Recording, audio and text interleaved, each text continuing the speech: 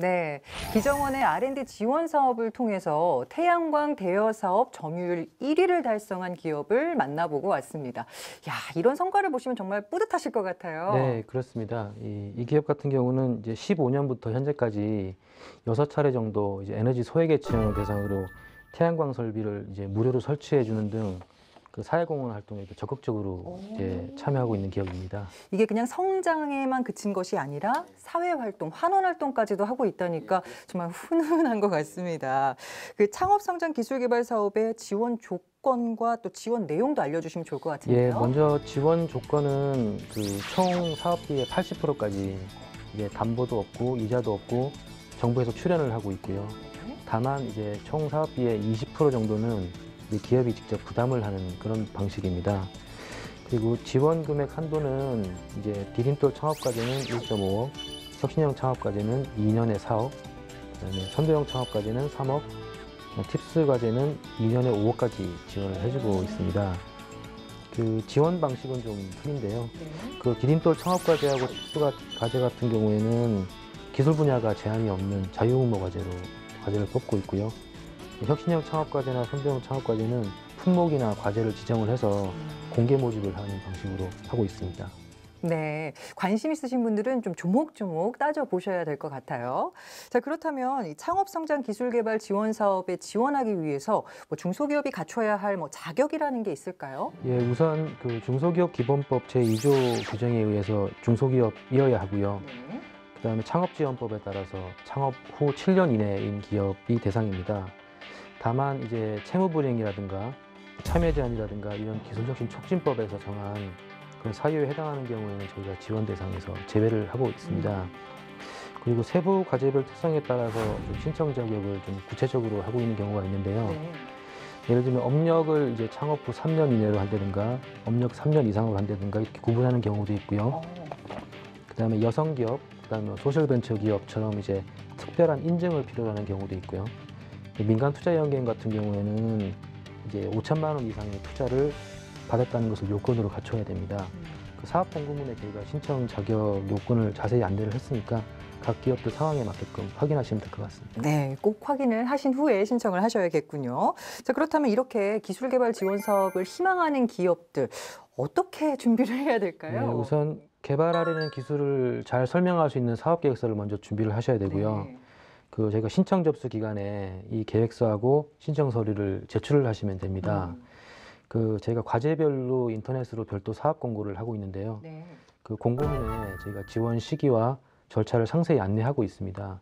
그 필요하신 경우에는 사업 설명회도 있으니까 참석하시면 도움이 많이 되실 것 같습니다. 음, 어떻게 보면 아, 너무 좀 깐깐하게 하는 거 아닌가라는 생각이 들 수도 있지만 적재적소에 지원을 잘하려면 이런 것도 필요하다. 네, 그렇습니다. 예. 하시겠습니다. 자, 그럼요. 지금 이런 지원을 통해서 우수 사례들이 정말 많이 나타나고 있는 것으로 알고 있거든요.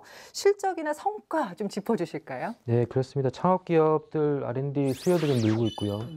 정부에서도 적극적으로 지원해서 이제 매년 사업 규모도 많이 늘어나고 있습니다. 네. 그 최근 6년간 이제 저희가 7,215개 과제를 지원했고요.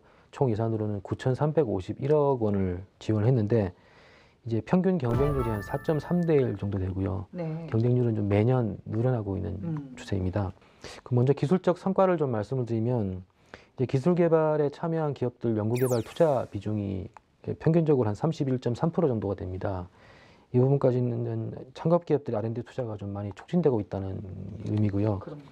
그다음 최근 3년 동안 이제 정부 출연금 1억 원당 그 특허 출원 또는 등록 건수가 1.7건입니다. 어, 이런 측면에서 기술 개발 역량도 계속 강화되고 있다고 제가 확인을 했고요. 네. 이 경제적으로도 창업 기업들 성장에 좀 많이 기여를 했습니다. 2012년부터 15년까지 지원 기업의 매출액을 저희가 기술 개발 전후를 비교를 해보니까 실제로 기업들 성장한 걸좀 확인을 했는데요. 네. 예, 특히 이제 수출 실적이 발생한 기업들이 지원 기업들 중에서 12.6%나 됩니다. 네. 이 부분은 창업 기업들 평균이 1.6%인데요. 창업 기업들 일반적인 평균에 비해서 해외 진출이 많이 늘어나고 있다는 걸로 확인을 했습니다. 네, 뭔가 이 대한민국 경제를 이끌어 나가는 원동력이라는 느낌이 들 정도로 이 우수 사례가 정말 많은 것 같아서 기분이 좋습니다. 그리고 또 이 이렇게 우수 성장을 한 기업들 중에서 우리가 딱 이름만 들어도 알만한 기업이 있다면서요? 네, 먼저 이제 그 B사라는 기업이 있는데요. 네. 2013년도에 창업을 했고요. 2014년도에 저희 창업성장기술개발 사업에 참여를 해서 이 모바일 송금 서비스를 위한 그 기초 기술 개발에 성공을 했습니다. 맞아요. 그래서 이후에 2015년도에 잘 아시는 이제 토스 서비스를 출시를 했고요. 저희가 창업 5년 만에 이제 기업 가치 1조의 유니콘 기업으로 성장을 했습니다. 음, 그리고 T사라는 회사는 2014년도에 창업을 했는데 2015년도에 팁스 과제에 참여를 했고요. 음. 그 3D 프린터 기반의 그 생분해성 의료 제재를 예, 개발을 성공을 했고 사업성이 인정받아서 작년 말에 코스닥 상장까지 한 기업이 있습니다. 자, 이 밖에도 우수 사례 기업의 영상이 하나 더 준비가 되어 있습니다. 어떤 기업인지 한번 만나볼까요? 치료에서 예방 및 조기 진단으로 헬스케어의 패러다임이 바뀌고 있는 요즘 이 분야에서 약진하는 기업이 있습니다. 바이오 기술을 토대로 질병을 진단하는 바이오 진단 전문 기업입니다. 저희 회사는 Make it better tomorrow라는 슬로건을 가지고 기존에 진단하지 못했던 질병을 혁신적인 플랫폼으로 진단할 수 있는 체외 진단 전문 기업입니다. 지난 2011년 12월 설립 이후 바이오, 나노, IT를 아우르는 융합 기술을 접목, 자가 면역 질환, 알레르기, 결핵 등 다양한 질병의 진단 기술을 보유하고 있습니다. 지난 2017년에는 국내 유일의 다중 면역 블롯 시스템을 세계 최초로 개발한 K맥 바이오 센터를 인수 합병했는데요. 그 후 전자동 시스템에 사용되는 다중 진단 시약까지 직접 개발하면서 수젠텍은 세계에서 유일하게 다중 면역 블롯 전자동 시스템과 진단 시약을 모두 개발, 판매하는 기업이 되었습니다. 올해 코스닥 상장을 할 정도로 짧은 시간 안에 빠른 도약을 할 수 있었던 이유는 무엇일까요? 저희 회사는 커뮤니케이션이 굉장히 잘 되는 회사입니다. 그리고 수평적인 조직 문화를 가지고 있어서요. 평소에 업무할 때 팀 내에서 자유롭게 의견을 낼 수 있고 경영진이랑 직원들 간에 서로 의견을 존중하고 또 공감해 주기 때문에 보다 편안한 분위기에서 일할 수 있습니다.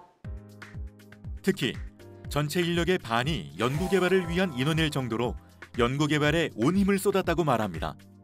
중기부의 R&D 지원 사업은 설립 초기 기술 개발에 필요한 자금 지원뿐 아니라 인력 개발에도 큰 도움이 되었습니다. 예, 저희가 어, 창업 성장 기술 개발 사업하고 기업 서비스 연구 개발 사업을 지원을 받았고요. 지원 사업을 통해서 저희가 어, 초소형 저전력 분석 시스템이라든지 그런 앱 개발과 관련된 그런 기술력들을 확보할 수가 있었습니다. 인력 충원할 때 인력 지원 사업을 통해서 이제 저 말고 또 다른 사람이 한 명이 더 있으면 이제 개발하는데 좀 더 속도를 낼 수 있는 부분이 있고요.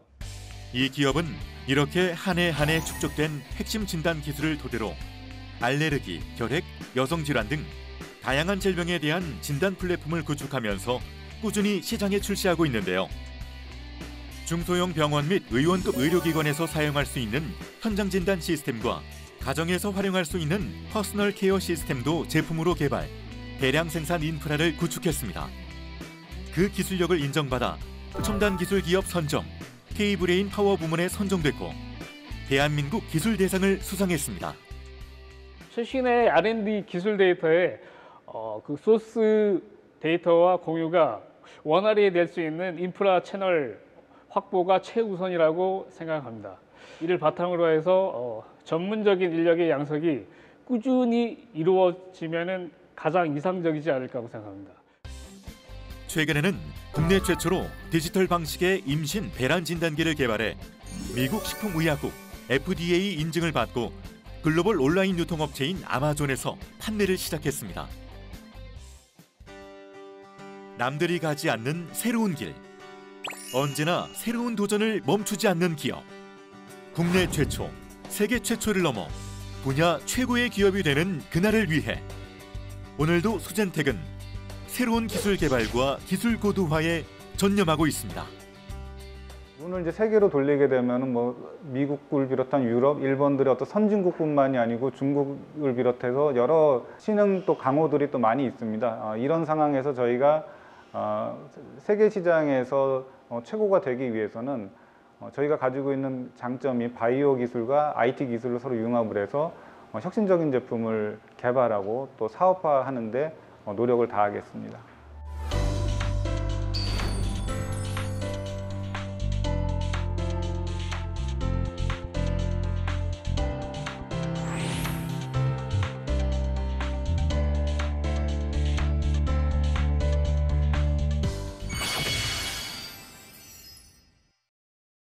요즘은 정말 건강과 질병에 관한 관심이 높아져 가고 있는 때인데요. 특히나 건강 상태를 미리 체크할 수 있다면 정말 좋을 것 같다라는 생각이 들고요. 굉장히 좋은 기술이라는 생각이 드는데요.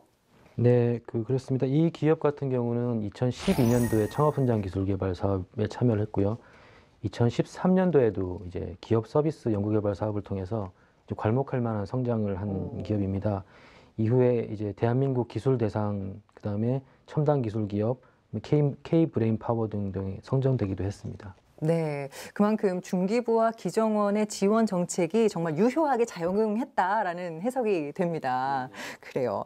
자, 향후 창업성장 기술 개발 사업의 추진 계획도 좀 궁금한데요. 예, 앞으로 그 4차 산업혁명 시대에는 이 주력 산업 중심의 성장 모델에는 어느 정도 이제 한계에 있다고 생각을 합니다. 그래서 기술 창업을 다변화시킬 수 있도록 촉진을 해서 혁신 창업 국가로 도약할 수 있도록 그 견인차 역할을 하- 하는데 기여를 좀 할 계획이고요. 또한 그동안 이 창업 기업들의 이제 생존율을 제고에는 기여를 했는데 우수한 사업화 상권 창출에 더 좀 주력을 하고자 합니다. 음, 이를 위해서 우수한 창업 기업들을 선별해서 집중적으로 육성할 계획이고요. 어, 민간과 공공의 창업 인프라도 연계를 좀 강화를 할 생각입니다. 그 이미 구축된 국내 창업 지원 인프라가 많이 있는데 이런 것들과 효율적으로 연결을 해서 우수한 창업 기업들을 좀 적극적으로 발굴을 할 계획입니다. 네, 기대를 해보겠습니다. 또 창업기술 평가실에서 꼭 소개하고 싶은 핵심 사업이 있다라면 또 소개해 주실까요? 예, 사업이라기보다는 이제 기술 창업 같은 경우에는 그 정부의 정책 지원이 계속 확대가 되고 있습니다. 네.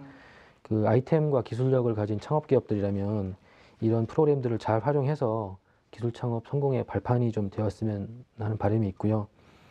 그 정부 정책 방향도 정부 주도의 육성 중심에서 민간의 자율성 중심으로 그렇게 변화를 하고 있습니다. 네.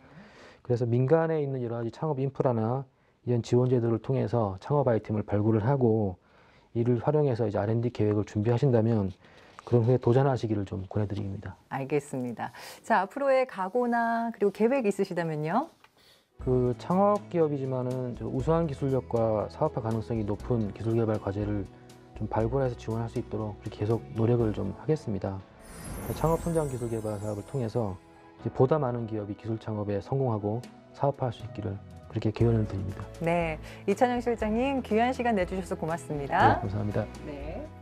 준기 씨 R&D 우수 기업을 말하다 저희가 준비한 소식은 여기까지고요. 다음 시간에는 산학연 관련 R&D 지원 사업과 그에 따른 우수 기업을 소개해 드리겠습니다. 끝까지 함께 해 주신 여러분 고맙습니다.